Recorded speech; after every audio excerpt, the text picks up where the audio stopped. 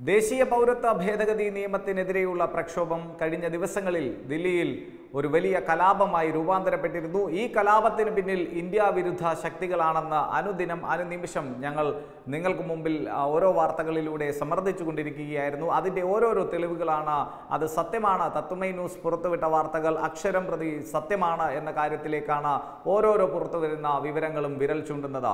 നമുക്കറിയാം ഈ ദില്ലിയിൽ ഉണ്ടായ ഈ കലാപം ആ കലാപത്തിൽ ഇതുവരെ ഏതാണ്ട് മുപ്പതോളം മുപ്പതിനടുത്ത് പേർ കൊല്ലപ്പെട്ടിരിക്കുന്നു. നൂറുകണക്കിന് ആളുകൾക്ക് പരിക്കേറ്റിരിക്കുന്നു. സുരക്ഷാ ചുമതലയുള്ള പോലീസ് ഉദ്യോഗസ്ഥർ തൊട്ട് ഒന്നിനും അന്തർഭവിക്കാത്ത തരത്തിൽ ആ ദില്ലിയിൽ താമസിക്കുന്ന ആളുകൾ ദില്ലി സ്വദേശികൾ അല്ലെങ്കിൽ ദില്ലി എന്ന രാജ്യ തലസ്ഥാനത്ത് വിവിധ ജോലി സംബന്ധമായ ആവശ്യങ്ങൾക്ക് എത്തിച്ചേർന്നവർ എന്തിന് ദില്ലി എന്ന ഇന്ത്യൻ തലസ്ഥാന നഗരം കാണാനെത്തിയ സഞ്ചാരികൾ ഉൾപ്പെടെയുള്ള ആളുകൾ പരിക്കേറ്റ് വിവിധ ഇടങ്ങളിൽ ചികിത്സയിലാണ്. ചില ആളുകളുടെ നില അതീവ ഗുരുതരമായി തുടരുന്നു എന്നൊക്കെ പറയുന്ന ഒരവസരത്തിൽ വളരെ സങ്കീർണമായ ആ ദില്ലി ദിനങ്ങൾ ഏതാണ്ട് ഒതുക്കപ്പെട്ടിരിക്കുന്നു. ആ ദില്ലിയിലെ കലാപം ഏകദേശം ആ, കേന്ദ്ര സേനയെയൊക്കെ അതായത് നമുക്കറിയാം സൂപ്പർ സോൾജർ ഇന്ത്യൻ ഇന്ത്യയുടെ പ്രത്യേക ദേശീയ സുരക്ഷാ ഉപദേഷ്ടാവായിട്ടുള്ള അജിത് ദോവൽ എന്ന സൂപ്പർ സോൾജറെ കേന്ദ്ര ആഭ്യന്തരമന്ത്രി അമിത്ഷാ ഈ കലാപം നിയന്ത്രിക്കുവാൻ വേണ്ടി രംഗത്തിറക്കി കേന്ദ്രസേന രംഗത്തിറങ്ങി ദില്ലി പോലീസ് കർശനമായി ഇടപെട്ടു.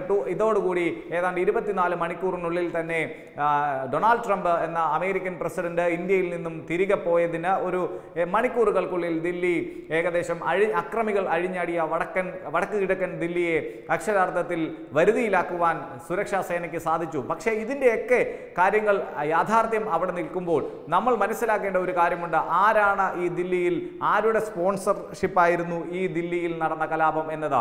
ഒരു സംശയവും വേണ്ട. ഒറ്റവാക്കിൽ നമുക്കത് പറയാം. ഇന്ത്യ വിരുദ്ധത കൈമുതലാക്കിയ ജിഹാദി ഗ്രൂപ്പുകളുടെ സ്പോൺസർഷിപ്പ് ആയിരുന്നു. അവർക്ക് വേണ്ട വെള്ളവും വളവും നൽകിയത് ചില പ്രതിപക്ഷത്തുള്ള പാർട്ടികളായിരുന്നു. അവരുടെ ദേശീയ നേതാക്കളായിരുന്നു. ഒരു സംശയവും വേണ്ട. അത് വരും ദിവസങ്ങളിൽ ആ അതിനുള്ള തെളിവുകൾ പുറത്തു വരും. അതിനുള്ള കൃത്യമായ രീതിയിലുള്ള അന്വേഷണത്തിലൂടെ സത്യാവസ്ഥ പുറത്തു വരുമെന്നിരിക്കെ നമ്മൾ മനസ്സിലാക്കേണ്ടതുണ്ട്. അവിടെ ആരാണ് കലാപം യഥാർത്ഥത്തിൽ ഉണ്ടാക്കിയത്. കേരളത്തിലെ മാമാ മാധ്യമങ്ങൾ മുഖ്യധാര മാധ്യമങ്ങൾ മുഖ്യധാര വാർത്താ ചാനലുകൾ എല്ലാം പറയുന്നു അവിടെ ജയ് ശ്രീറാം വിളിച്ചില്ലെങ്കിൽ അവിടെ മുസ്ലിങ്ങളെ വളരെ ക്രൂരമായി ആക്രമിക്കുന്ന ഒരു സ്ഥിതിവിശേഷമുണ്ടായി എന്ന്. മുസ്ലിങ്ങളെ അവിടെ ക്രൂരമായി ആക്രമിക്കുന്ന ഒരു സ്ഥിതിവിശേഷം ഉണ്ടായി എന്നത് സത്യമാണ്. പക്ഷേ ജയ് ശ്രീറാം വിളിക്കൂ അല്ലെങ്കിൽ നിങ്ങളെ മർദ്ദിക്കും എന്ന് പറഞ്ഞുകൊണ്ട് അവിടെ അക്രമം അഴിച്ചുവിട്ടത് ഹിന്ദുക്കളല്ല. നേരെ മറിച്ച് ഉത്തർപ്രദേശ് പോലെയുള്ള സ്ഥലങ്ങളിൽ നിന്ന് ദില്ലിയിലേക്ക് നുഴഞ്ഞു കയറി അവിടെ പ്രശ്നങ്ങൾ ഉണ്ടാക്കാൻ വന്ന ജിഹാദി ഗ്രൂപ്പുകളാണ് എന്ന കാര്യമാണ് ഇപ്പോൾ പുറത്തു വരുന്നത് നമുക്കറിയാം ഡൽഹിയിലെത്തിയത് യു പിയിൽ നിന്നുള്ള ക്രിമിനൽ സംഘമാണ്. ഈ ക്രിമിനൽ സംഘത്തിന്റെ നേതൃത്വത്തിലായിരുന്നു വടക്ക് കിഴക്കൻ ദില്ലിയിൽ നടന്ന മുഴുവൻ കലാപങ്ങളും അക്രമ സംഭവങ്ങളും.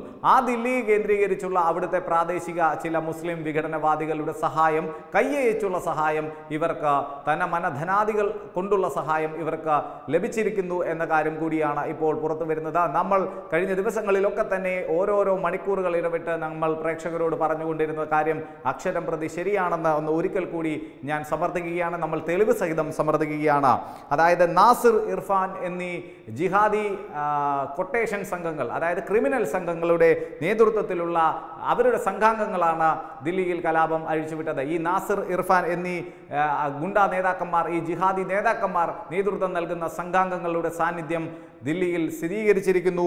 ഇവർ ഈ കലാപം വ്യാപിപ്പിക്കുവാൻ വേണ്ടി ആഹ്വാനം ചെയ്ത അതിനുവേണ്ടി ഉപയോഗിച്ച വാട്സാപ്പ് ഗ്രൂപ്പുകൾ ഇപ്പോൾ കർശനമായും സുരക്ഷാ ഉദ്യോഗസ്ഥരുടെ നിരീക്ഷണത്തിലാണ് എന്ന കാര്യം കൂടി നമുക്ക് പറഞ്ഞു വെക്കേണ്ടതുണ്ട്. പൗരത്വ നിയമ ഭേദഗതിയുമായി ബന്ധപ്പെട്ട് ദില്ലിയിൽ നടന്ന സംഘർഷങ്ങളുടെ തോത് നമുക്ക് വ്യക്തമാക്കി തരുന്നത് അതിന്റെ വ്യാപ്തി നമുക്ക് വ്യക്തമാക്കി തരുന്നത് ആ മരണസംഖ്യ അല്ലെങ്കിൽ പരിക്കേറ്റ അവരുടെ ആ എണ്ണത്തിലാണ്. ഏതാണ്ട് മുപ്പതോളം പേർ മരണപ്പെട്ടിരിക്കുന്നു കൊല്ലപ്പെട്ടിരിക്കുന്നു.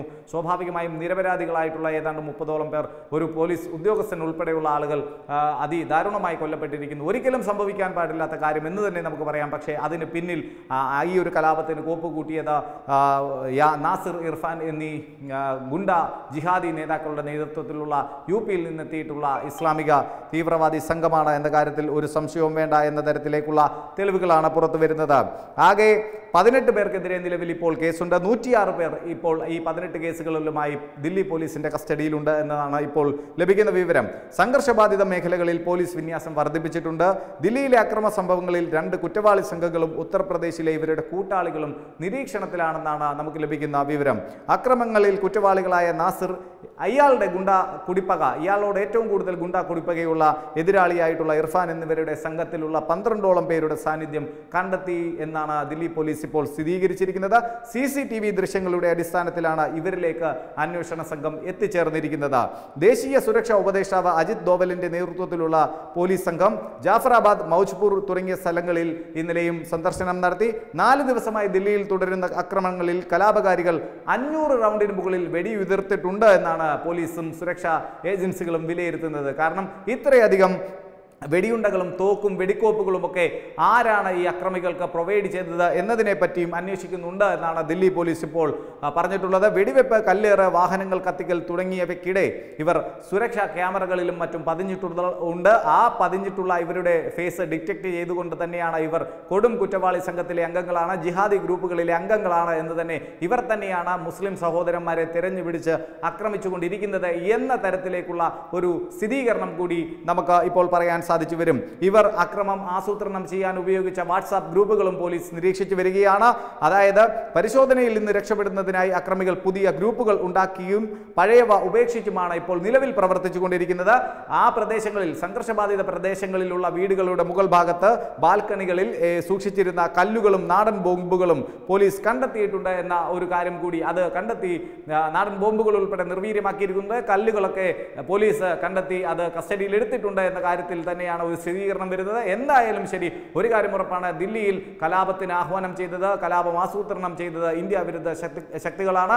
അതിന് ഏറ്റവും കൂടുതൽ ഒരു നേതൃത്വം നൽകിയത് രണ്ട് കൊട്ടേഷൻ സംഘങ്ങളാണ് ജിഹാദി കൊട്ടേഷൻ സംഘങ്ങളാണ്. നാസിർ ഇർഫാൻ നാസിറിന്റെ ഒരു കൃത്യമായിട്ടുള്ള നാസിറിന്റെ ഒരു എതിരാളിയാണ് ഇർഫാൻ. ഇവർ തമ്മിലുള്ള സംഘങ്ങൾ തമ്മിലുള്ള കുടിപ്പക ദില്ലി പോലീസിന് കൃത്യമായി അറിവുള്ളതാണ്. ഇവരുടെ സംഘങ്ങളിൽപ്പെട്ട യു പി സ്വദേശികൾ ഉൾപ്പെടെ നുഴഞ്ഞു കയറിയാണ് ദില്ലിയിൽ കലാപമുണ്ടാക്കിയിരിക്കുന്നത് എന്നതാണ് ഏറ്റവും പുതിയതായി നമുക്ക് പറയാനുള്ള വിവരം.